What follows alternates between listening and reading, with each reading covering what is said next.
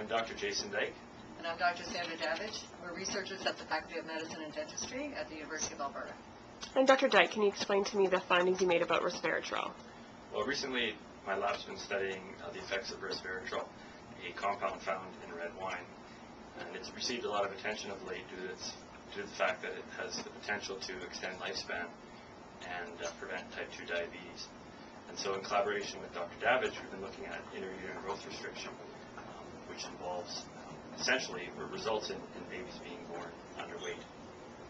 And Dr. Davidge, what kind of findings did your research uncover regarding regarding growth restriction?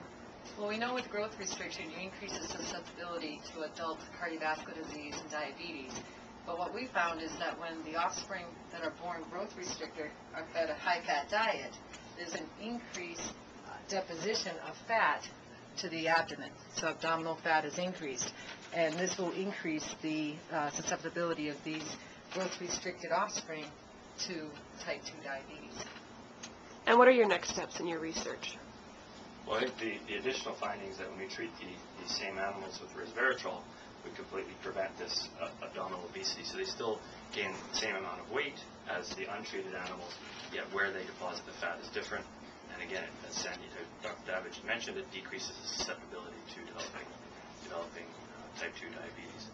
So the next steps will be being able to treat the animals at a certain at a certain age and seeing if, if they need to be treated um, for a long duration, a lifetime treatment, or if there is a window or therapeutic window of opportunity where we can treat with resveratrol and then prevent um, type 2 development of type 2 diabetes later in life.